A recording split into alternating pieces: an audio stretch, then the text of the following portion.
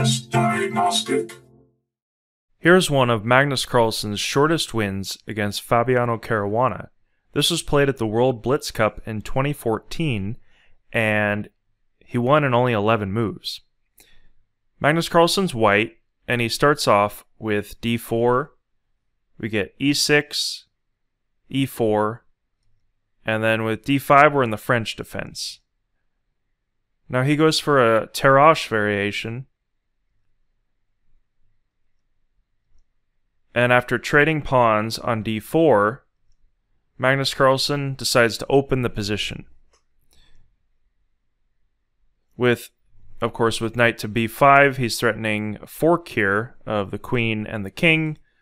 So Fabiano Caruana brings his knight out to cover the c7 square.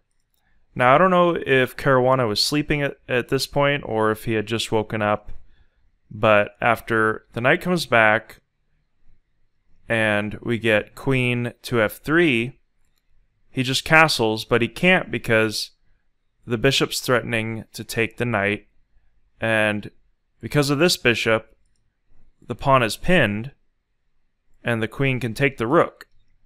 So he misses that, and after bishop takes a6, Caruana resigns.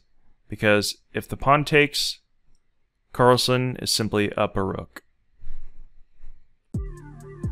Hey everybody, thanks for watching. Hope you enjoyed this video. Uh, hit the like button, leave a comment, and subscribe for future videos. See you in the future.